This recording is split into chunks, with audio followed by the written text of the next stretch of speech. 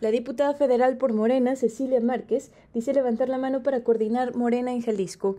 Esto tras ser cuestionada sobre el alcance que tiene el partido en la entidad y de las divisiones internas que ha sufrido tras la salida de Marcelo Ebrard de ese instituto. Las encuestas marcan que Morena gana en el estado de Jalisco con un 20% sobre cualquiera de los otros partidos y que en el factor cuando son varones, pues de repente la cosa se resbala.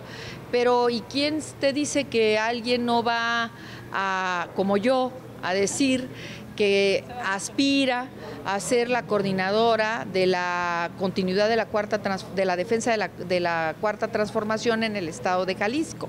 Este, por supuesto que levanto la mano. Y agregó que el proceso democrático que se llevó a cabo en días pasados, en donde Claudia Sheinbaum ganó la representación de la coordinación del partido para las próximas elecciones, es un reflejo de la continuidad del movimiento de la cuarta transformación a la cual políticos y empresarios se han opuesto.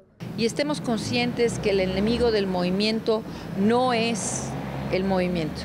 El enemigo está afuera y son los intereses de corruptos del movimiento ciudadano, del PRI, del PAN, de lo que queda del PRD y que ellos quieren que vuelvan un sistema de privilegios. Sin embargo, en Jalisco se han develado por lo menos dos funcionarios más interesados por encabezar la coordinación estatal de dicho partido.